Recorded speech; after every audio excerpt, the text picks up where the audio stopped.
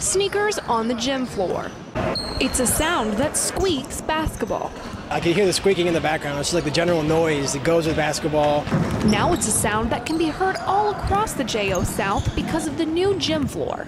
For students like Michael, who's been playing basketball at the gym for the last five years, it's just one of the many new features to love about the wooden court.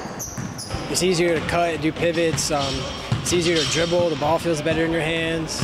It's just all around a better feel.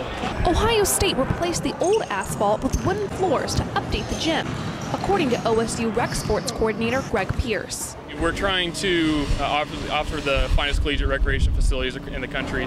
And for regulars like Michael, it's a noticeable difference. You don't really play games like official games on asphalt. You play on this kind of floors. And get this, the JO South isn't the only place at Ohio State with new basketball features. Now students can take their basketball across campus to the new outdoor courts at Lincoln Tower Park.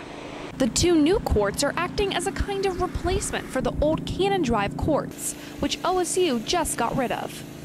We were able to relocate those courts uh, closer to central campus. Now the courts are next to the shoe, but regulars at the JO South say the new location might not be enough to rival their home court. I'd probably come here now instead of the RPAC. Instead on Fridays. Friday's like the big RPAC day. Chelsea Spears for The Lantern.